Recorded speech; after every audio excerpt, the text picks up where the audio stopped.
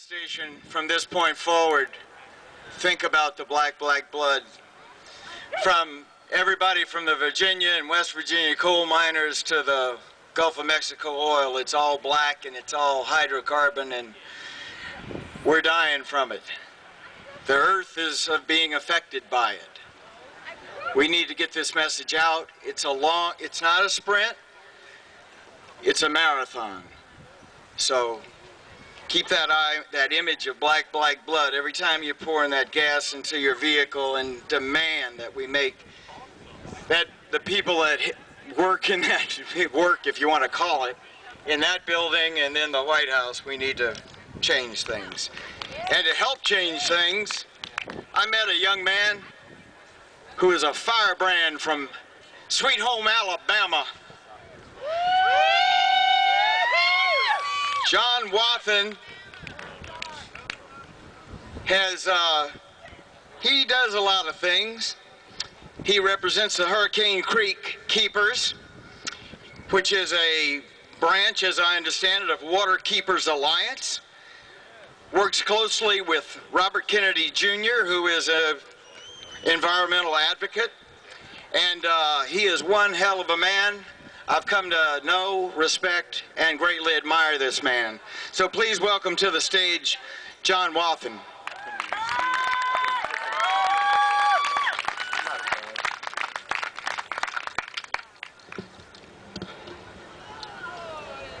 Hello, everybody. My name is John Wathen, and I am your Hurricane Creek Keeper.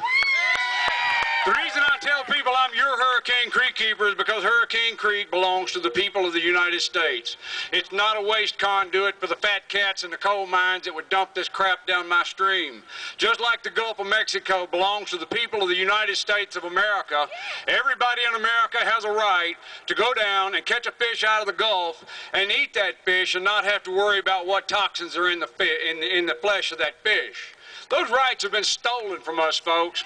They've been stolen from us by a bunch of fat cats from across the water who came over here and condemned our way of life. They not only condemned our Gulf of Mexico, but they condemned our way of life. This is not just an environmental issue, it's a social issue. When one group of people can come across the waters and condemn another whole race of people's way of life for profit, that should be considered a crime. Someone needs to be held accountable. We spent a lot of time putting up this little thing here to make some shade out of it, but I'm afraid just like uh, Thad Allen's truth, the shade just doesn't exist today. There's a lot of shade that's been fed to the American people. You have not been told the truth from day one, I promise you. I went down there right shortly after this mess started, and with the help of a group called South Wings. If you've never heard of them, look them up. Conservation through aviation. They're absolutely the angels in the sky that allowed me to get in an airplane and go out there and bring back the truth.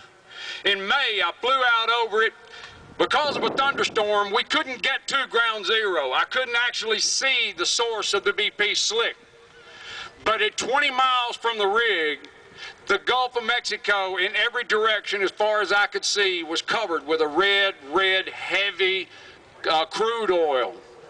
I told myself then that it looked like the Gulf was bleeding. That phrase got coined in a video that I later produced. It went viral. And Americans, Germans, Russians, people in Saudi Arabia all responded. That message went around the world because the for profit medias were sitting on their butts taking orders from BP's Thad Allen. Right. The truth was not told. The second flight, when I went out, was the first time that I'd encountered one of the in situ burns. We got all the way out to the source this time. We flew around and there was a cloud of smoke that came up off the water. It went 4,500 feet in the air and stretched out damn near all the way to the Florida coast. It was incredible what I saw. When I came back and made the next video, I made the statement that I felt like for the first time in my life, it was hopeless. There was no way to stop what was happening to the Gulf of Mexico all the promises from BP's Thad Allen and all the failures that called themselves restoration experts that came in and said we could keep it out of our marshes, they were lying to us, folks. You can't stop something that big. It never should have been drilled in the first place if they couldn't control it. Nowhere in the world should anybody punch a hole into the grandmother if you're not prepared to suffer the consequences for what you've done. We breached something down there that nobody's ever dealt with. The Russians came in and said, You people are crazy for doing this. You shouldn't be down there. We've actually penetrated something that I don't think anybody had any any conscious thought of what the possibilities were, except those that were making profit off of our losses. I visited the people in Barataria, Louisiana. I have good friends there with the Louisiana Bayou Keeper, Atchafalaya Bayou Keeper, Louisiana Environmental Action Network. All of these people were coming together at one time. And when I went down there to visit with them, I felt like there was a pallor in the air. There were people mourning. They were mourning the loss of their way of life. They were mourning for something that they didn't know they would ever be able to recover. Fathers teach their children like their fathers taught them. The day you can get up and get on your feet and get out on that shrimp boat, you go help or you're crabbing. You're in your pirogue out there doing something in the water. This is the way of life that was taken away. It's not an environmental issue, it's a social issue. I also work with the Citizens Coal Council. I'm chairman of the board of directors of one of the most powerful coal organizations in the world dealing with human rights issues. This is not much different. The difference in this is only in, in, in the coal fight and mountaintop removal. They come in and they take off the whole top of our mountains. They dump them into the streams. They cover up the valleys. They don't pollute the water, they cover it up. Over 2,000 miles of American waterways in Virginia, West Virginia, Kentucky have been covered up by mountaintop removal. It's extraction technology, people. It's extraction technology. It's extracting the grandmother's bowels in Illinois, in the nation's breadbasket, where we feed people around the world. Longwall mining is subsiding the breadbasket's farmland. We've now got wetland species standing in cornfields. This is not right. It's for profit. It's not right. But we, the people, are suffering for it. Why should I and the people in the coal country and in the Gulf of Mexico be considered the nation's energy sacrifice zone? We are human beings and we have rights. But more than that, we are a community of human beings. This is not just an American issue. We all wanted to come out and blame the Brits for this right off the bat. British Petroleum, right? BP, bad people, all this good stuff, brown pelicans, all the new names we gave them. Fact is, BP is only owned 41%, I think, by, no, no, no, Americans own 41% of BP. English only own 42%. We're only 1% less culpable in this country for what happened out there than anybody in Britain. It's a way of life that we've chosen in America. We have to have our SUVs. You can't go in New York City and find a, a, building with the lights turned off for crying out loud. This is the city that never sleeps, whether they're asleep or not. The lights have got to be on. That's bullcrap. We have got to start conserving what little bit of natural resource we have left, folks, or it ain't going to be there for our children and our children's children. We didn't inherit this earth from our grandparents. We only borrow it from our grandchildren. And we have an obligation to those grandchildren to give it back in better shape than we found it. And right now, we're not living up to that obligation. I am ashamed of what I'm seeing in the Gulf of Mexico today. Our grandchildren's heritage is being flushed down the toilet down there. We've had another rig. Maybe you didn't hear about it. Another rig blew up just last week. The day it blew up, there was an oil slick, according to the Coast Guard. An hour later, mysteriously, there was no oil slick. The next day, there's an oil slick. Come on, man, give me a break. All we ask for is the damn truth. We're not stupid. We may not have, some of us may not have the college educations of some of these fat cats in suit and ties over here in the big gray building. It ain't a White House, it's a gray building. There, you know, there's some, there's some funny things going on in there.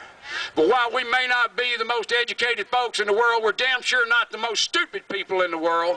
And you can't come in and tell me that what I videotaped on July the 19th, July the 21st, those massive red oil slicks that were out there, you can't tell me it mysteriously disappeared. It was dispersed. It was put into the water column. It's no longer on top of the water. It's a part of the water column which means that it can evaporate back into the air and rain back down on us. If you think that you're immune to this in Washington, D.C., you are wrong. The prevailing winds from the Gulf of Mexico are potentially toxic. In the right weather, that oil is coming up out of the water. On the 21st, the last flight that I took out over the Gulf, when we landed the airplane, we flew through no rain that day. We didn't fly through any smoke that day. When we landed that airplane, it was covered with oil. The, it was orange. The leading edge of that aircraft, every wing, every strut, every wheel, even the rivets on the skin of the airplane were orange with the oil that was in the air we flew through. I got sick the day after and my nose started running. Then it got to be a little scratchy. Two days later, I'm running back and forth to the bathroom, and I'm not the only one. This is happening all over the Gulf right now, folks, and you ain't hearing about it because these fat cats right over here and right behind me have put a media shutdown on the truth. Yeah! We're not going to stand for that any longer. I'm calling for every citizen in the Gulf of Mexico to buy a camera, a cheap camera, whatever you can get, and document what these liars are doing to us. Because if we don't, nobody's going to tell our story, I promise you. It is our story, but it's also the world's story. I went to Baja, Mexico for the Waterkeeper Conference. I'm a member of the Waterkeeper Alliance. We're an international federation of groups like mine around the world. In Baja, California, I met the ex-president of Mexico. He came over to me, he shook my hand and said, young man, I've been following your work. I thank you for what you do and he staged a photograph with the Louisiana Bayou, I mean the uh, Lower Mississippi River Keeper and the President of Mexico holding hands, hands across the Gulf of Mexico. This is an international issue. It is a world issue. It is a social issue, and it cannot be tolerated any longer. We must have accountability. When this government tells us something, we should be able to believe it and not go back out and have to have people like me refute them. We need to believe in our government. We need our Coast Guard to step up to the plate and take care of us. I understand this was in international waters and rules are applied, but 12 miles of that water belongs to the United States of America, and our Coast Guard should have been there in force protecting our shores. Damn bad uh, BP and Thad Allen. This is our shoreline, and we want it back. Folks, we got a long way to go. You're hearing that the cap's on and the oil's gone. The, that's the beginning of this story. That is only the beginning of the restoration of the Gulf of Mexico. We've got a long, long way to go. And we need your help, America. We need everybody to pay attention to what's happening down there and come to these rallies. Support the groups. Save our Gulf. We've got several groups down there that are operating on shoestring budgets that need your help. Come and help us. Bridge the Gulf is another fantastic outlet down there. If you want to know what's happening on the Gulf of Mexico today, talk to somebody in one of these groups. Save Our Gulf, Bridge the Gulf, call Derrick Evans. These people know what's going on and they'll put you where you need to be if you want to come and volunteer. I'm John Wathen. I'm your Hurricane Creek keeper, and I'm pissed off, y'all. Hey, I want to tell you something. When I, y'all all heard from New Orleans about the Who Dat people, this is voodoo dat. There's some bad shit going on down there, y'all, and we need some badass voodoo to make it right.